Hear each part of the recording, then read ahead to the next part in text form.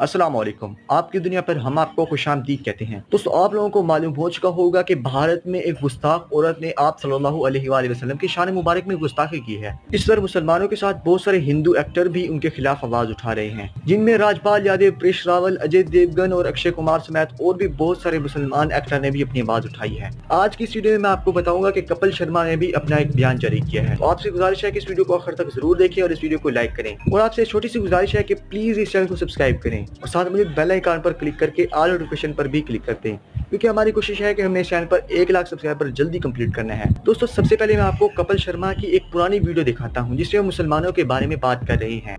अच्छा जब हम बच्चे होते हैं हम सब धर्मों को प्यार करते हैं। जब हम सियाने हो जाते हैं पता नहीं क्यों हिंदू मुसलमान हो जाते हैं। मे, मेरा ऐसा मानना है कि मिटानी हो अगर मजहबों की दूरियाँ।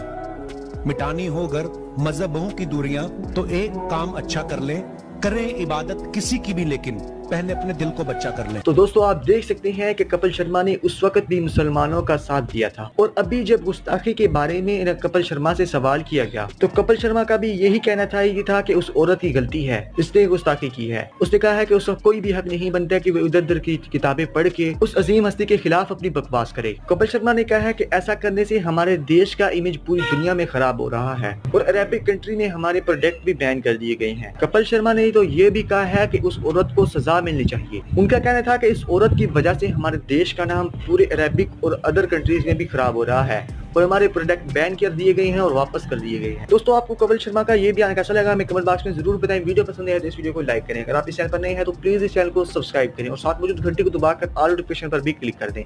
हम मिलेंगे आपको इंशाल्लाह नेक्स्ट वीडियो में तब तक के लिए अल्लाह हाफिज़।